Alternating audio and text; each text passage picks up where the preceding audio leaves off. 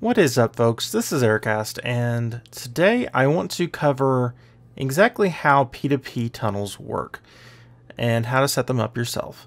So P2P tunnels for me personally have been a bit of a frustration in the past. I understood the principles behind them and I understood why they were so important to use, but I wasn't clear on exactly how to set them up because, well, every time I tried to set them up, I just plain couldn't get them to work. Um, but I set up this little network here and basically just fiddled with it until I got it to work. Alright, so there are a few ways that you can go about doing this. But principally, you have to understand one very, very important thing. Both sides of your network need power. And that was the big hangup for me is understanding that I had to have power over here in order to access the items that were put in over there, over here. So, and I'll show you in a little bit a real world example of um, how to use P2P tunnels.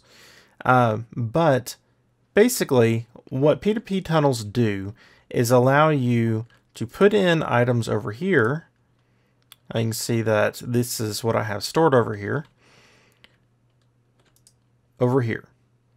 So you might say, well, why exactly do you want to do that?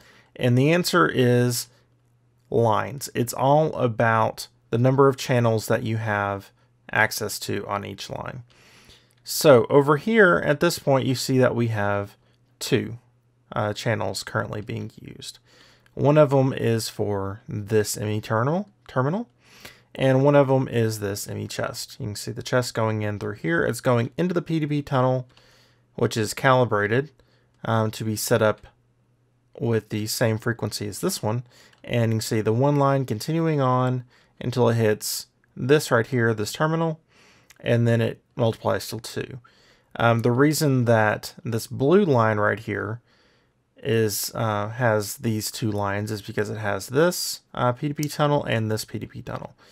Now, these uh, this connection right here is to show you that it needs power. So quartz fiber will not transfer channels between two smart cables or just two ME cables, period. Um, it only transfers power. So that's why there's two lines right here, but there's only one over here. So we need power um, to get this to work and this line to work. So make sure and at all times have power going to another system. But remember, if you're going to do something like this, uh, obviously this is a creative energy cell. So, you know, I don't have power hooked up, especially in a big complicated way of using generators and stuff. Um, you can only have one ME controller. Remember that. Uh, or set of ME controllers. I can have, you know, all these. But as soon as I put one over here, it will no longer work because there's a controller conflict. So just remember that you cannot do that. Um, and the reason that you might is say, oh, I wanted to power this side over here. Well, you know, obviously you're going to need a power acceptor. Let's working on something else. Um, applied energistics. Um, you're going to have to have something like this set up. So if you wanted to pipe power into here and not have this setup over here, if say I'll break that, um, then this is acceptable. Just don't use one of those. Let me go ahead and connect a blue one. Just make it a little bit more simple there. All right, so as far as this goes, the big thing that you need to understand is that it has to go into this side right here. So we've got this solid side right here. Um, this is what it's going, the channel's going into, or out of rather, depending on how you look at it. So the channel that your this box is going into, this side, it needs at some point to come out of this side over here.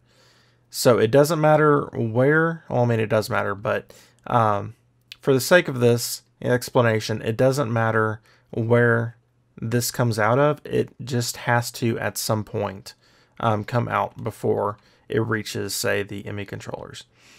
Now, the reason that it's um, so important to do stuff like this is because, well, in some cases you've got all sorts of things down here on this end that are taking up a bunch of channels.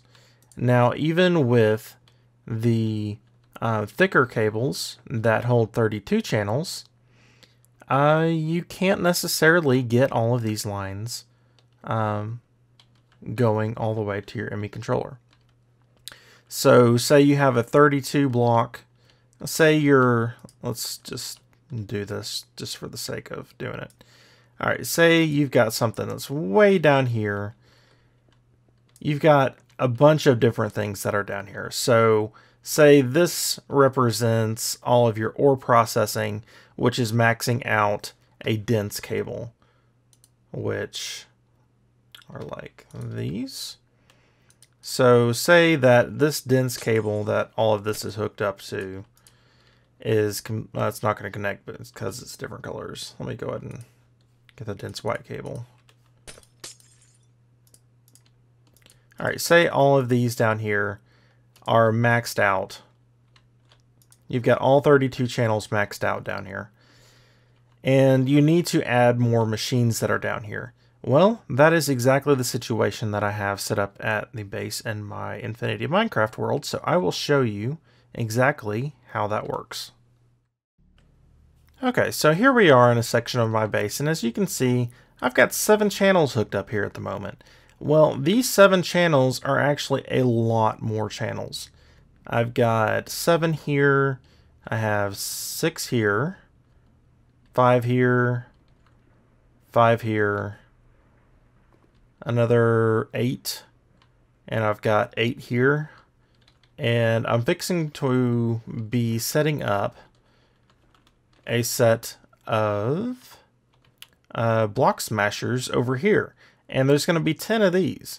So these are going to have all sorts of other things hooked up to them too, which are going to be, well, a lot of channels when it's, you know, all said and done. But remember, on my dense cable, I've only got six channels. All of these guys are being combined into these P2P tunnels to only equal seven channels. So that is what makes P2P tunnels so powerful is by the time I have all of this stuff hooked up down here, well, there's only nine channels. So what that allowed me to do is to use my ME controller base here um, to export all of these P2P tunnels. So I've got, at this point, nine. So they're splitting off and exporting directly into the ME controller as if they had a specific line that went from all the way down there all the way over here. Sorry about that, folks. Had a bit of a freeze up there. Um, but basically, can you imagine how much space and how many materials it's going to take to run that many ME dense cables um, to get all of that running all the way down there? You're going to have multiple lines of these things.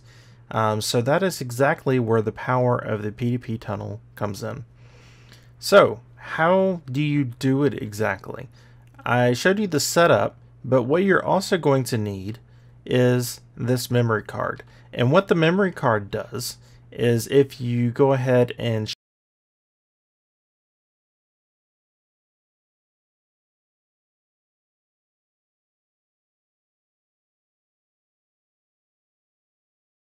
So what we would do is say I have one hooked up here. Um, and yes, you can actually do lines within lines. So you can do uh, Inception kind of stuff and with it, which is kind of cool and gets really ridiculous and really confusing. Um, I'm not going to go over that, but I'm sure you guys can work it out exactly how it works. But um, so if I wanted to have something coming out of this right here, all I would do is save the settings. So that's shift right click uh, for the natural settings. Mine's actually F right click since I have sneak um, set to F but all you do is set it to this one and then create a new one that's down here. So you would need to have a new connection in which you went ahead and connected it like that. And then of course connected it to the main line and said, hey, you know, this one right here is going to be, you just right click, you load the settings into the P2P tunnel. So it's actually not that hard to set up, but it can be a little bit confusing. Just make sure that they have power and you're pretty much all set. So uh, that's going to be it for now. I'm going to finish setting this up for my um, main series there. It goes with modded Minecraft. And yeah, we'll get all these block smashers working. So I hope that helped you out some um, because P2P tunnels are really, really awesome. Applied Energistics is an amazing mod, um, but it can be a little bit confusing at times. So uh, that is exactly how all that works. So until next time, I hope you all have a wonderful day.